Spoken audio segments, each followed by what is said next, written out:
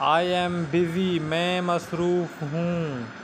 I am busy का मतलब होगा, मैं मसरूफ़ हूँ। मैं मसरूफ़ हूँ इसके लिए, ये इंग्लिश का वर्ड इस्तेमाल होगा I am busy he is very brave वो बहुत बहादुर है।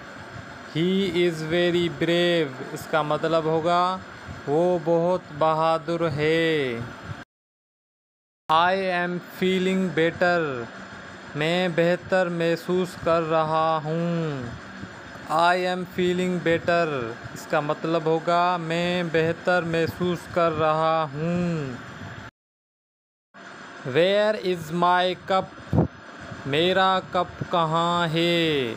वेयर इज़ माई कप इसका मतलब होगा, मेरा कप कहाँ है?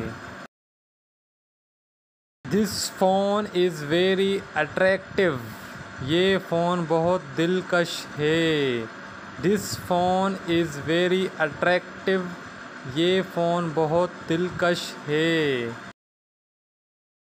डोंट गो इनसाइड अंदर मत जाओ।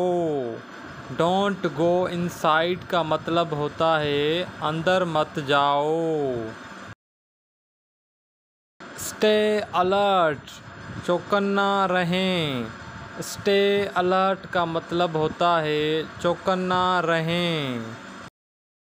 आई थिंक देट मुझे लगता है कि आई थिंक देट इसका मतलब होगा मुझे लगता है कि।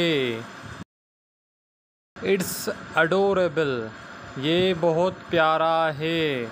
इट्स अडोरेबल का मतलब होता है, ये बहुत प्यारा है। लुक बिहाइंड यू अपने पीछे देखो। लुक बिहाइंड यू का मतलब होता है, अपने पीछे देखो।